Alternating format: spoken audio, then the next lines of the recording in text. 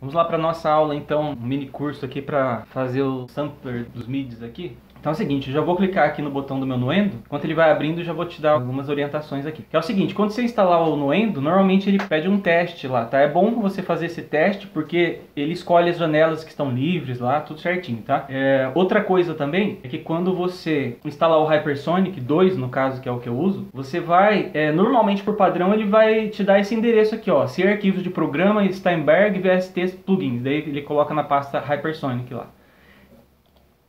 É interessante esse tipo de caminho, embora eu já instalei o Hypersonic em outras pastas e deu certo também, tá? Então talvez não seja tão rígido isso aí. Mas é, por padrão seria aquilo. É importante o caminho porque você vai ter que usar uma janela F11 que eu vou te explicar aqui. Tá, a gente abriu o programa aqui. Então tem duas formas que a gente pode pegar o MIDI. Eu fiz o download do MIDI aqui de tema de filme. Então eu posso vir aqui em Import, tá? Daí tem MIDI File eu vou lá em desktop, tem aqui o um, meu Movie Themes aqui, ó. Eu clico nele, clico, escolho uma pasta, eu vou salvar numa pasta que eu sempre gravo aqui, ok? Ele já está abrindo, ele abre todos os arquivos aqui, ó. Ele já está separado em, em faixas, né? Só que daí você tem que entender uma coisa. Só que antes de você entender isso, eu vou te passar outra forma que você pode fazer também. Deixa eu fechar aqui. Você pode vir aqui, ó, criar um new project aqui, né? Empty, ok. Daí você coloca na pasta que você achar que deve. Daí você vai lá na área de trabalho e arrasta o seu MIDI. Eu estava com o meu MIDI na área de trabalho. Arrasta aqui, ó, diretamente aqui. Ele também abre, tá? Ó, ele vai abrir. Então são essas duas formas que você tem para poder abrir o MIDI. Agora, a primeira coisa que você vai ter que fazer é você apertar o botão F11, tá? Deixa eu apertar o F11 ele vai abrir essa janela, VST Instrumentos. Quando ele abre essa janela VST Instrumentos, você tem que vir aqui, ó. Aí vão aparecer todos os plugins que estão naquela pasta que eu falei lá no início, tá? O C, arquivos de programas, a Steinberg lá, né? Então, ó, o Hypersonic já está aqui. Eu venho aqui nessa setinha e aperto em Hypersonic. Ele vai abrir essa janela aqui, que é a janela do Hypersonic. Você pode fechar ela por enquanto, depois eu vou falar mais um pouco sobre ela. Fechei lá. Tá, deixa eu fechar essa janela aqui também do F11. O que, que eu faço? Eu vou ter que vir faixa por faixa. Tá? Então, é, eu vou vir nesse vocal aqui. Ó. Você aperta, você clica na janela. Essa janelinha aqui vai ser imediatamente tudo relacionado a essa janela que você clicou. Tá? Se vier aqui nessa aqui, vai ser a janela dessa aqui. Se vier nessa janela, é essa janela. Então, o que, que você tem que fazer? A primeira coisa, você precisa deixar aqui esse All MIDI Inputs. Daí você vem nesse Alt aqui, ó você vai clicar nele e escolher Hypersonic, tá? Então, o é, que, que você faz depois disso? Eu estou aqui no vocal. Então, normalmente o MIDI ele vem especificando né, cada instrumento, não é?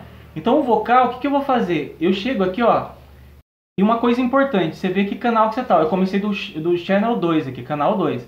É importante você ver que canal que tá, porque antes estava dando uns erros, é que eu tinha colocado todos os, os arquivos nesse mesmo canal. Mas automaticamente, quando você abre o MIDI, é para ele fazer cada um desses aqui, ó, cada, cada um desses canais, voz e piano e tal, em um canal aqui. Vai ser o canal 2, canal 3. Então no voz aqui a gente está no canal 2. Se eu clicar aqui em slow strings aqui, ó, ele vai estar tá no canal 3. Se eu clicar no acústico piano, está no canal 4. E assim por diante. Então vamos lá de novo pro vocal. Daí o que, que eu faço? Eu chego nesse select patch aqui, ó. Eu vou chegar nesse select patch, clico, eu venho nesse filter, porque aqui vão estar todos os instrumentos do Hypersonic. Eu venho no filtro e já escolho vocal. Vou digitar vocal aqui, ó. Então eu dou um Enter, ele já aparece todos os vocais que tem aqui, ó. Então eu posso escolher. Eu, deixa eu tentar esse digital core aqui, ó. Cliquei. Então a partir desse momento, ó, é, deixa eu dar um solo aqui no vocal. Já explico esse negócio de solo. Dei um solo no vocal aqui. Vamos ver como é esse digital core. Ó, ó, é isso aqui. É, gostei desse, mas eu poderia escolher, por exemplo, eu cheguei aqui, ó. Clico de novo lá no lugar do, dos bancos lá. E eu posso escolher, sei lá, esse Heaven Core aqui, ó. Cliquei. Eu vou lá no. tá no solo aqui no vocal, já eu explico isso. É, dou, dou play. Ó. É, eu gostei, embora ele tenha bastante efeito. Deixa eu tentar um sem efeitos aqui, vai. A maioria deles vão ter efeitos. Eu chegar no Heaven Chords ver se acha algum legal. Vocalish, não sei qual que é esse, mas vamos escolher. Deixa eu dar o play. Ele não apareceu. Às vezes acontece de não aparecer, porque dependendo da faixa que se encontra aqui, ó, porque se você clica aqui, ó, você vê em que posição do piano estão é, cada uma das notas, tá? Mas isso aqui é um pouco mais é, avançado, tá? Mas às vezes acontece de não estar numa região do piano que aquele banco lá de MIDI reconhece, tá? Então se caso você escolher, por exemplo, escolher esse vocalista, não deu. Eu vou escolher lá de novo um aquele primeiro lá de é, Space, não, eu escolhi esse Heaven Quark. Eu vou clicar. Esse já aparece. Então, se acontecer de você escolher um banco aqui, ó, eu estou no Heaven Core deu certo. E não der certo é porque às vezes a região do piano não dá certo. Inclusive nesse exemplo aqui você vai ver que vai ter um tímpano lá que se a gente mudar a região dele dá certo. Tá tudo bem. Então acho que você já entendeu como é que é para mexer em cada um dos, arquivos aí, né? Em relação a esse solo aqui, ó, quando você quer ouvir só a faixa que você está usando, você aperta esse S. Ó, vou desativar. Quando tá assim, você vai ouvir todo o conjunto, né? Aqui tá com som de MIDI, fica bem esquisitinho ainda, né? Então, se você quiser ouvir só a faixa, é só clicar no solo dessa faixa. Se você quiser mutar alguma faixa, só vir no, no M aqui, ó. Daí não aparece mais aquela, não aparece o core lá. Né? Beleza. Deixa eu ver aqui no meu roteiro, o que, que é pra falar mais. Ah tá, outra coisa interessante falar agora é que normalmente, ó, eu tô aqui, nós estamos, continuamos aqui no vocal. Normalmente, é, quando está off no volume, aqui porque a gente tem volume e tem o pan aqui, né? Normalmente vem off nos dois, volume e pan. Esse off significa que está no volume máximo do MIDI já, tá? Mas se você quiser diminuir ele, você clica aqui e você vai tipo a 70% lá, ó, é, 84%, tá? Esse, esse pan, ele está no off, que significa que está centralizado. Se você quiser colocar no direito ou esquerdo, você clica e vai, ó, ou mais para direita ou mais para esquerda do estéreo da música, tá? Você quer deixar o vocal só na, na direita? Deixa só na direita. Se quiser deixar só na esquerda, se quiser deixar centralizado, tá? Ou senão você escolhe o zero lá, ou off, né? Depende do, do que você quer, tá no center lá. Ok. Isso aqui era importante falar. Deixa eu ver o que mais que, que eu preciso falar aqui. Escolher o banco normalmente com o nome que vem no MIDI para ficar mais harmônico. Né? Então, por exemplo, vamos aqui para outro canal. A gente estava no vocal. Vim para esse canal aqui, Slow Strings. Tá, slow strings. Vou ali, você precisa de novo fazer isso aqui, ó. Vim lá, deixa no all mid inputs. Nesse alt, sempre colocar hypersonic, tá? Isso é uma coisa importante. Você vê que ele está em outro canal, importante também. O vocal era, ó, o vocal era 2, o canal.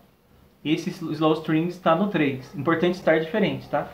Então o que você faz? Vai lá no select patch, vou escolher um string, já que é slow strings. Então eu venho aqui nesse filter e digito string. Olá, eu dei um Enter, apareceu todas as opções de string que eu tenho. Vou escolher o piano mais strings. Ó, agora eu vou dar um solo no vocal e no string só para ver como fica a harmonia. Vou dar um play aqui, ou você dá o play aqui, ou aperta a barra de espaço, tá? Ó. É, eu gostei. Stop. Beleza, então eu vou manter esse. Vai ser o slow string. Outra coisa interessante também, deixa eu ver se é hora de falar disso, peraí. Ah tá, é, é hora de falar disso sim. Se você quiser fazer ajustes em cada um dos seus instrumentos, você precisa vir aqui, ó, nesse Edit VST Instrumentos aqui, tá? Você vai clicar nele e vai aparecer isso aqui, ó, a janela que apareceu no início lá, tá? Deixa eu arrastar essa barra aqui do play. É, então o que, que acontece? Por exemplo, o Heaven Core, que é a primeira faixa que a gente usou, esse Black Hole aqui, ele já estava de fábrica. Aqui. Esse Heaven Core, que é o canal 2 que a gente escolheu lá, você vai ver que ele tem... Você aperta aqui, ó, pra ver como que ele é. E aqui você vai ter lá, ó, você vai ter vários ajustes, ó, part, pitch, se você prefere assim, ó. Se você prefere com ele menor. Você vai ter lá, fade out part, então vamos colocar no máximo pra ver como que é. Ó, ele deu uma sustentada, deixa eu ver, tirando ele, zerado. Ele já sustenta menos, né?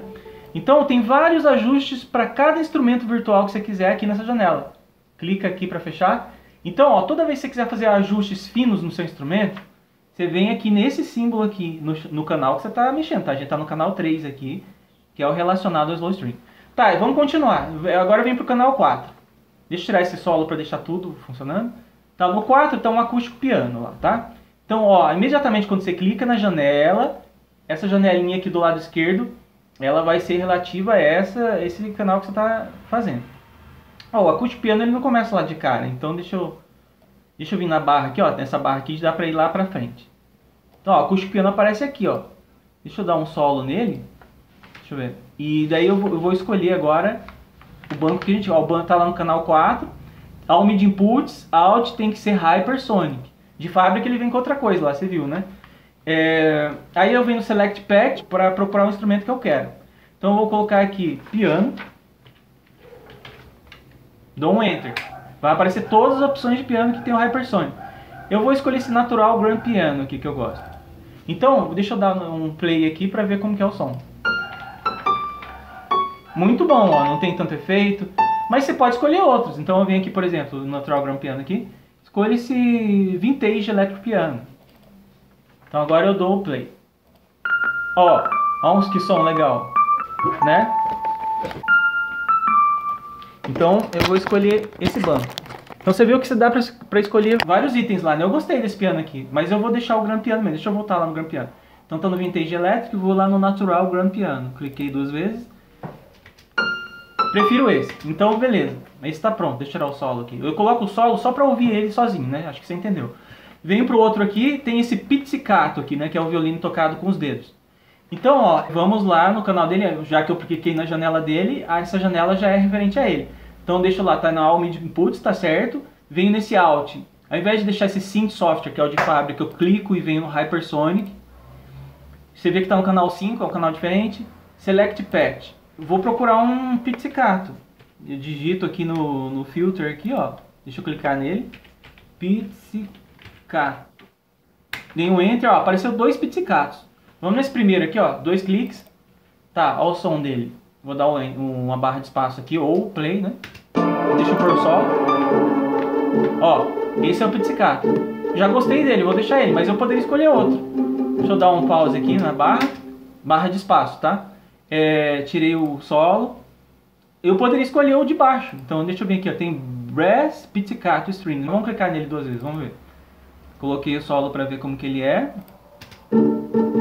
Ah, não mudou tanto assim. Poderia ser esse mesmo. Deixa ele então. Ficou bom também. Deixa eu tirar o solo. Vem para outra janela. Timpani. Esse timpani tem uma coisa interessante. Ó, vamos lá na janela dele colocar tá, o MIDI Puts. Vamos colocar lá Hypersonic. Nesse Alt sempre colocar Hypersonic, não, não dá certo. É, select Patch. Deixa eu procurar um timpano, timpani. Ó, tem Big Timpani Médio Timpani. Vamos escolher esse Big Timpani. Tá, esse aqui aconteceu uma coisa quando eu fui fazer por ele interessante pra te falar. Por exemplo, deixa eu dar o solo, vou ver qual que é o som. Não saiu o som. Você viu coisa engraçada? Deixa eu colocar aqui. Mas o que, que acontece? Agora eu vou te explicar. Isso aqui é uma coisa mais avançada, mas vale a pena explicar, tá? O que, que eu tenho que fazer? Eu tenho que clicar na janela dele, que dois cliques aqui, ó, nessa região, vai abrir a janela. Você vai perceber se você tocar no piano nessa região, onde está churado aqui, ó, porque é o seguinte, onde está essa o símbolo de, de onde está marcado o tímpano, alguém escreveu o tímpano aqui. Se você tocar a tecla, não está saindo o som. Daí eu vou subindo as teclas, opa, só começa, é, nesse banco só começa aqui. O que, que eu tenho que fazer? Se eu quiser esse tímpano na música inteira, eu vou ter que eu vou ter que apertar o botão, o botão direito aqui do, do mouse. Vai aparecer esse monte de de opções aqui. Eu venho no Object Selection, daí eu vou, eu vou clicar com o botão esquerdo e até o final da faixa. Vou até o final da faixa para fazer uma coisa que eu preciso fazer aqui. Ó, eu nem vou até o final da faixa, vou, fui até aqui, até a metade, porque senão vai demorar. E a gente perde tempo de explicação aqui. Deixa eu dar uma maximizar aqui na janela para aparecer isso aqui, ó. Eu vou lá pro começo. Por que, que eu fiz isso? Porque eu sei que o som do, do MIDI só começa aqui, ó. Então, se caso você escolher um MIDI e não aparecer o som, abre essa janela que eu abri aqui e vem ver se por acaso não está escrito numa região que não tem som no MIDI, ó. Que é essa aqui do piano que eu estou tentando tocar e não sai. A gente toca com o ponteiro do mouse. Mas como eu levei o mouse aqui e apareceu, ó, então o que, que eu faço? Eu já selecionei aquela região, eu clico com o botão esquerdo do mouse e levo lá pra cima, peraí. Ó, levei para uma região onde tem som. Fechei essa janela. É, fechei a janela de baixo, tá? Se eu fechar essa de cima aqui, eu vou fechar o programa. Tá, então o que, que acontece agora? O tímpano não estava tendo som. Vou dar um play aqui, ó, ele tá no solo. Ó, agora tem. Porque quem escreveu não levou em consideração que alguns bancos de MIDI não dá para naquela região tocar, tá? Espero que você tenha entendido isso, mas isso é mais avançado. Vamos deixar para lá por enquanto, se caso você quiser mais explicações, depois eu te dou. Então tiro do solo, vamos para mais um aqui. Polysynth, então eu vim para esse canal. Novamente, ó, verifica que o canal é outro, é o 7. All Inputs no IN, tá certo. No Alt tem que clicar e vir no Hypersonic. Aí vou no Select Paths. Como lá tá pedindo um synth, sintetizador, né? Deixa eu escrever synth aqui. Synth, é com S-Y-N-T-H. Ó, apareceu vários synths aqui. Tem esses synths do Willy, vamos ver como que é isso. Nunca usei. Elétrico piano. Porque tem synth em várias coisas, em pianos, em bass. Vamos escolher esse piano. Synth Whirly aqui, nunca vi. Clica duas vezes. Deixa eu dar um solo para ver como que é o som dele. Vamos lá. Deixa eu colocar onde ele começa aqui, né? Que é no desenho aqui. É bem interessante. É, você vai perceber uma coisa. Alguns bancos podem estar muito altos em relação ao todo, tá? Então o que, que a gente faz nesse caso? A gente tem que vir lá, ó, onde está aqui, ao invés de deixar off, porque o off é o volume máximo aqui no volume. Clico e venho aqui no 68%, por exemplo, tá? É, deixa eu ver como ficou. Ó, já ficou um som um pouco menor. Deixa eu tirar o solo dele e ver como tá ficando, tá? Vamos ver o...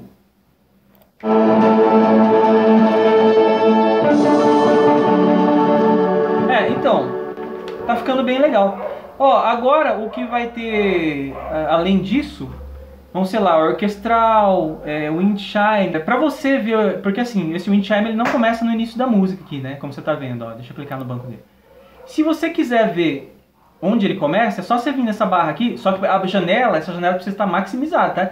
Se ela tiver assim, não aparece a barra de rolamento. Ah, até apareceu, mas às vezes não aparece, ó. Deixa eu clicar para maximizar. Você vem aqui, ó, e vai para ver onde começa esse... Deixa eu ver onde ele tá aqui. Wind, Wind Chime aqui, ó. É nesse canal 11 aqui. Você vai vir aqui, ó, e vai ver onde ele começa, no canal 11. Deixa eu ver então, Wind Chime... Ah, ele só tem no começo. Só tem aqui, ó. Se caso ele tiver lá mais pra frente, você com barra de rolagem, você acharia ele lá pra frente. Mas uma coisa importante é que se caso não aparecer som, na hora que você escolher o banco, vou dar um solo, escolho o banco aqui, daquele processo todo lá, né? Não aparecer som, tenta abrir a janela e levar isso aqui ou para cima ou para baixo, tá? Que vai aparecer som, porque depende dessas teclas aqui para aparecer som, depende do, do que o cara criou, né? Para aparecer som. Deixa eu fechar aqui. Tá, deixa eu ver o que mais eu preciso falar. Eu acho que eu já te expliquei o processo. Tem muitos canais dessa música, a maioria que você pegar de mídia acho que não vão ter tantos canais assim. Mas deixa eu ver o que mais que eu tenho para te explicar. Já falei sobre alterar. Ah tá, eu tenho que te explicar o volume geral. Antes de você salvar esse arquivo, você viu que eu deixei suando tudo, né? Ó, não tem nada em solo aqui, nem em mute. Então eu vou clicar aqui, ó, deixa eu colocar, ó, o clique aqui faz a música começar onde você quiser, né? Essa barra aqui. Eu vou começar daqui que tem vários instrumentos já. Então, ó, põe pra tocar.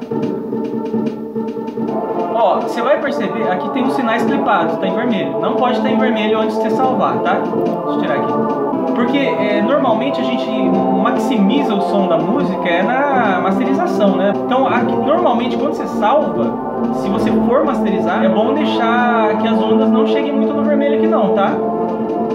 Mas se você quiser ajustar o volume, você clica nessa seta aqui, e ou você abaixa, ou você sobe. Ó, só que aqui eu subi demais, clipou. Deixa eu clicar de novo, ó, eu vou diminuir.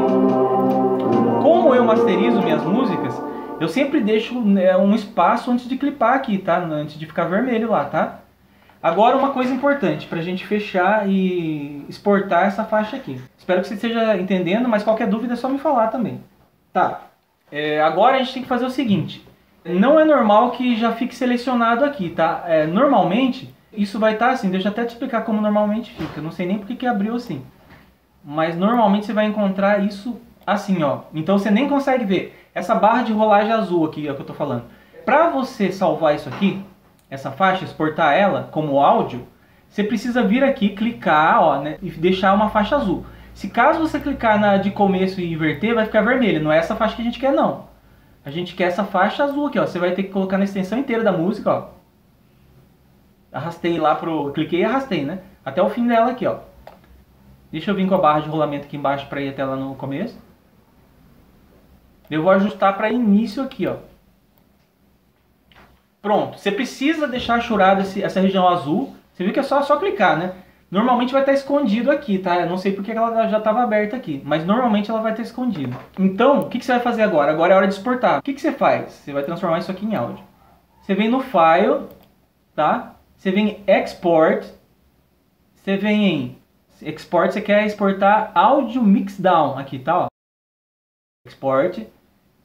Áudio mixdown. Clicou. Vai aparecer é, isso aqui é, o lugar que você quer salvar. É, vamos colocar o nome de. Vamos colocar o nome de. Coloca o Movie Theme, vai. É o tema de filme isso aqui. Você precisa deixar em Wave File. Eu sempre salvo aqui em Wave, porque foi a que me deu mais qualidade. Deixa esse PCM Uncompressed Wave. Se tiver outra opção marcada, é PCM Uncompressed Wave. Isso aqui vazio. Canal em Stereo Interleaved, porque vai ter outras opções também, tá? Mas deixa esse Stereo Interleaved. Resolution, eu deixo sempre 32 bit float, que é uma qualidade boa. Sample rate, deixo 44.100 kHz. Outputs, ASIO for all, porque é, esse ASIO for all é o que eu uso, que é esse programinha aqui para não dar latência. Mas se não tiver ASIO for all, vai estar o nome da sua placa aqui. Tá, eu já escolhi o nome, vou salvar, vai ser ali no desktop mesmo, você pode escolher outro lugar aqui. Tá, save.